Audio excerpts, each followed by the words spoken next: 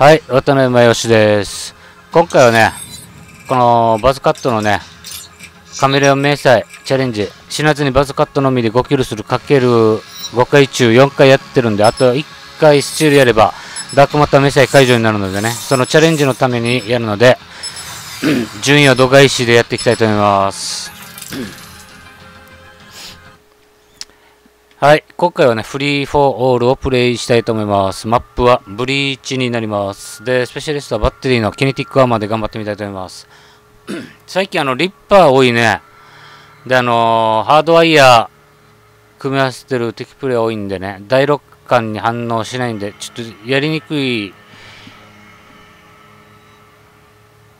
感じがある状況なんだけどね。うん、でも頑張ってね、スチールや、一回やって、ダークマターメッセバクババツカットね、ダークマターメッセ解除したいと思います。今回、コージナユイナ8のヘイマーカージュニアのバズカットで頑張ってみたいと思います。はい、これ、正面に敵さんいるんでね、これ。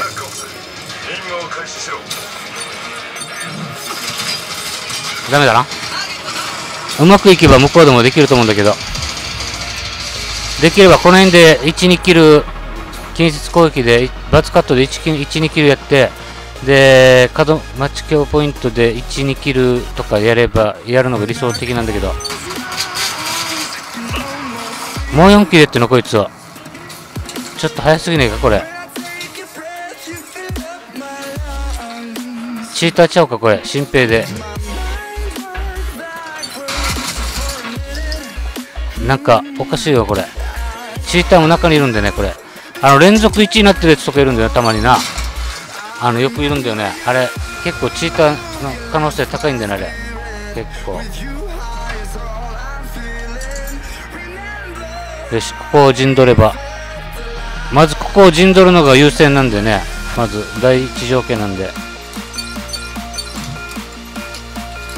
ちょっと空振りしてしまいましたね。カモン。1キルでしょ？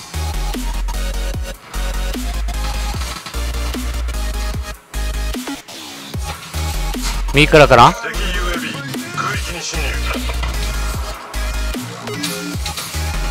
右から来るなこれ多分。2キル3キルあ。危ないなこれ。4キルあと1キルよっしゃ。オッケー。できました。ダイヤモンド明細解除オッケーオッケー。まゆちゃんオンラインでね。ゴールド明細カメラ明細オッケーですね。でダークマタ明細解除ってことでね。HXD ワード7オンラインあ俺やれたの？よかったですね。あのー、キネティックアーマー使わずにやったんでね。で、わからんな、でもこれチーターかどうか。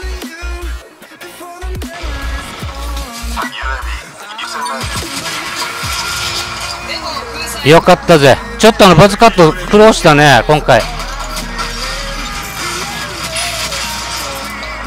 カウンター UAV 空域に侵入レーダーは機能しない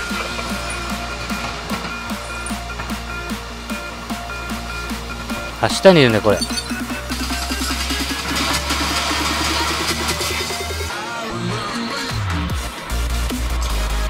よかったですね。早い段階でダークマター明細解除にして。もう20球やったらおかしいな、これ。この1のやつな。ラグいし。もう22球やってちょっとおかしいぞ。まだ3分ぐらいしか経ってねえぞ。チーターちゃうか、こいつは。なんか怪しいよ、これ。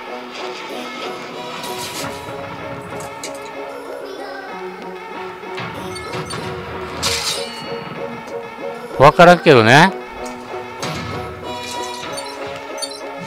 2キル。右来る、これ。だいたいパターンでわかるよ。もう長年の勘で。スチールやってみるわ、これ。オッケー。大殺し。HXD。なんや。あ、間違えた、間違えた。まあいいわ。まあギャグっちゅうことでね。もうダークマターミサイにしたんでもいいよ、もう俺。固めだ。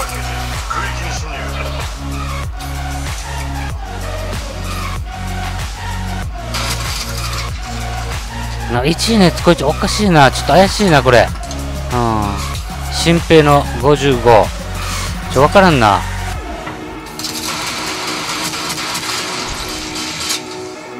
もうちょっとキル数をちょっと上げたいね。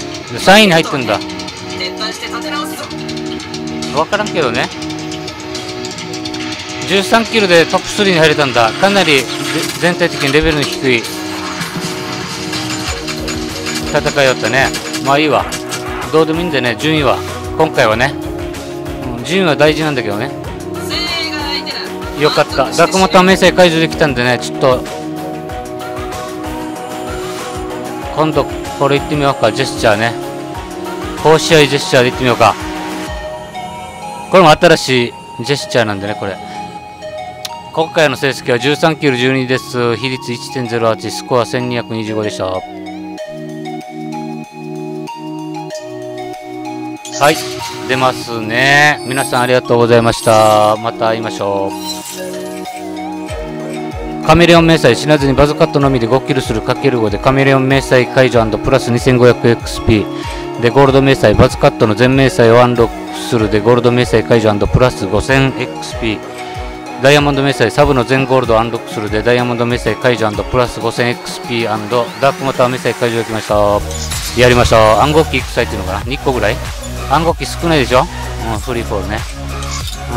うん。今回使用したのはコージネイ8のヘイメヘイメーカー12拡張マガジンにバズカットにパークは第6巻オーバークロックハードワイヤーブラストサプレッサーデッドサイレンスワイルドカードはパーク1 3グリード。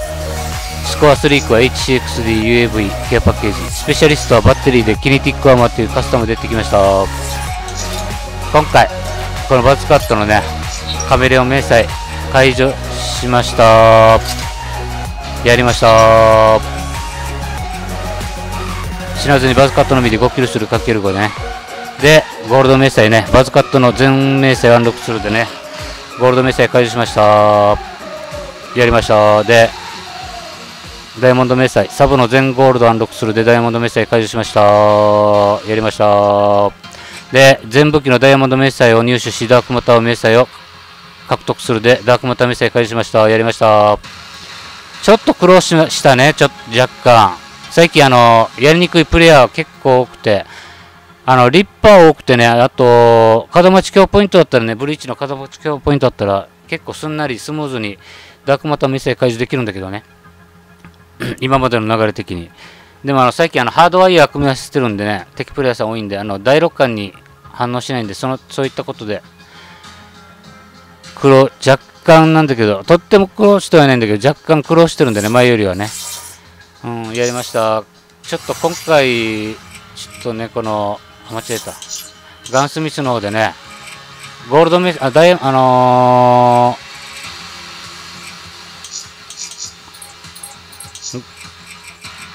カメレオンメッセージいってみますか。で、武器のショーケースの方でね。うん。ガンスミスだけ設定してもね、この武器のショーケースで設定しないと反映されないんでね、メニュー画面からね、こうやってね。こうやって。ようやくやりましたね。もうすべてダークマター再開したんでね。で、次これやっていくんでね、このナイトブレーカー。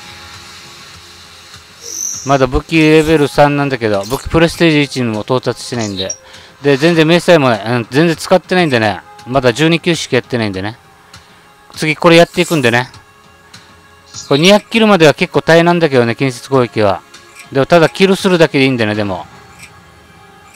ブリーチの角持ち強ポイントとか、コンバインとかで芋れば、結構、まあ、とつってもいいんだけどね。芋った方がさらに早く解除できるんでね。ちょっとこれやっていくんでね。ダークマターメッセ解除に向けてのメッセチャレンジやっていくんでね。今後の動画のご視聴とか、あとチャンネル登録のもよろしくお願いします。これ素早いんでね、動きが結構早いと思うんでね。ナイトブ今回使用したバズカットより早いと思うんでね。ダークマターメッセ解除するのね。以上にしていきたいと思います。やっぱりね、あの、バッテリーのこのキネティックアーマーだね。最近あの、このファイアブレイクのね、ヒートウェーブでもやったんだけどね、バトル明細、あの、カメラ明細チャレンジとかもやったんだけど、あの、バトルメッセージ解除もしたのはこのヒートウェーブ使ったんだけど、やっぱりね、この、なんて言ったってこの、近接攻撃のカメラ迷彩チャレンジャーの死なずに5キルスチールチャレンジャー特にこのバッテリーのキネティックアーマーが一番いいね。でも今回キネティックアーマー使わずに死なずに5キルやって、カメレオン、ゴールド、ダイヤモンド、ダークマターミサイル解除したんでね。うん、結構良かったと思います。まあ以上にしていきたいと思います。はい、今回はね、ヘイマヘイメーカージュニアバズカットバッテリーのキネティックアーマーでね、ブリーチのフリーフォールをプレイしてみました。バズカットのね、カメレオン、ゴールド、ダイヤモンド、ダークマター、迷彩が解除できて大満足してます。あとよろしければチャンネル登録の方もぜひともよろしくお願いいたします。はい。ご視聴ありがとうございました。バイバーイ。